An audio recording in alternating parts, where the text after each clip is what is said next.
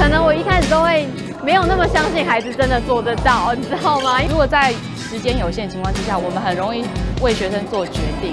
呃，看到他慢慢慢长大，慢慢成熟，然后一些点子的又又跟以前不一样。让小朋友去练习，他们知道说，其实他们小小的一点想法是可以影响别人的。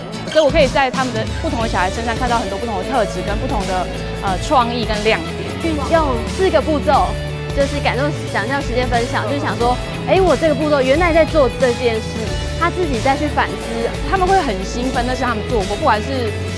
多绕一点路，或是遇到很多的挫折，那我觉得那种学习对他们来说是很珍贵而且重要的学习。即使那些办法没办法立即解决，可是如何从这些方法当中去慢慢去，呃，找出可以自己能力所做到的。他会觉得所有逻辑就是有脉络的，所有的行动都是有原因的。所以我们不要把这当成一堂课。你们是你们是真的，你们现在五个人聚在一起，有没有可能可以做些什么？那把。不同的生活经验，然后融合在一起，变成一个新的解决问题的方法。是这四个步骤对小朋友来讲的话，真的不难，而且他真的可以完成。那我我中间只要调整的就是相信他们，You can。